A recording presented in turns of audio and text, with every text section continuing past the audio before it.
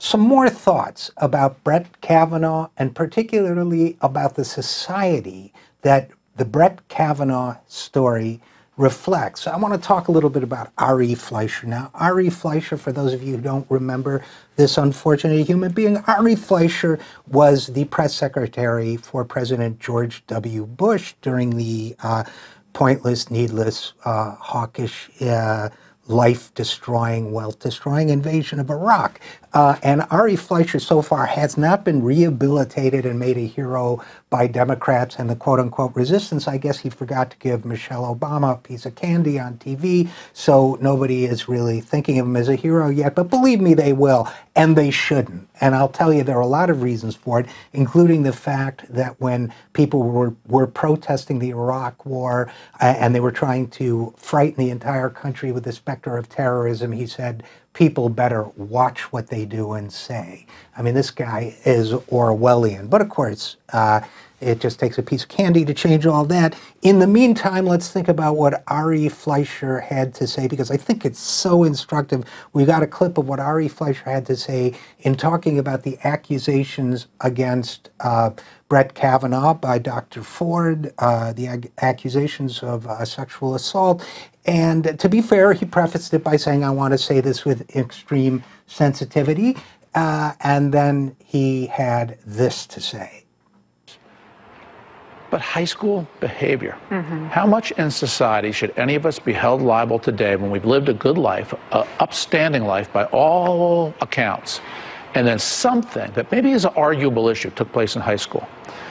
should that deny us chances later in life, even for a Supreme Court job, a presidency of the United States, or you name it? Yeah. How accountable are we for high school actions when this is clearly a disputable high school action? Yeah. That's so, okay. Okay. So, that's the question. So, how accountable are we for high school actions or accusations of high school actions. How much in society should any of us be held liable today when we lived a good life and upstanding life by all accounts? Okay, now let me ask you to conduct a thought experiment, and it's a risky one and it's, and it's an edgy one, but go with me on it if you would for a second. Let's leave women and gender out of the story. Let's say that Brett Kavanaugh had been accused by somebody of torturing a dog in high school.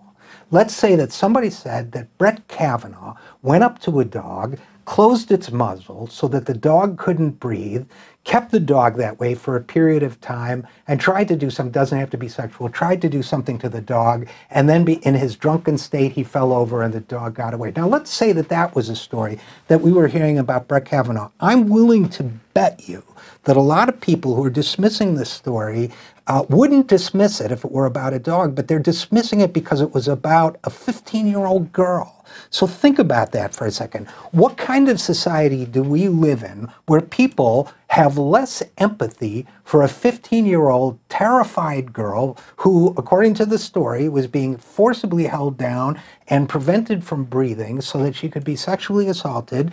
And again, allegedly. But uh, what kind of person would then say uh, about a dog rather than a human being? How much of us should any, how much should in society should any of us be held liable today when we lived a good life? We would view a dog torturer, a cat torturer, a pet torturer as a monster. We would say, God, we want to know if this guy is that kind of horrible human being. But because it's a girl and he was a boy, everybody feels differently about it. There is something broken about our empathy machine, and it has everything to do with what it means to be a woman in this society. It has everything to do with the power dynamics between men and women in the society, and it also has everything to do with the ruthless and debased cynicism of Republicans and conservatives who want to see their guy in the Supreme Court at all costs, no matter what he did to this young girl. You know, it sickens me.